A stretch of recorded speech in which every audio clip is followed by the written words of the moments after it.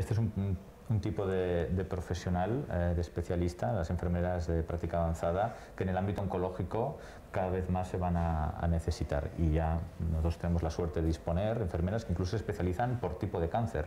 eh, y que son enfermeras que están en la consulta, que hacen sus visitas, que manejan muy bien las toxicidades, eh, que tienen un, afinidad, pero tienen un aproximamiento al paciente muy cercano y que es un rol que ya en otros países, por ejemplo Estados Unidos, está muy avanzado. Incluso hay un título que en este país no, no existe. Entonces, la enfermería yo creo que necesita especialización en el ámbito oncológico porque los oncólogos, bueno, tenemos nuestra eh, expertise, sin duda tenemos que hablar con el paciente, pero al final no estamos solos y también pues, necesitamos profesionales de este tipo.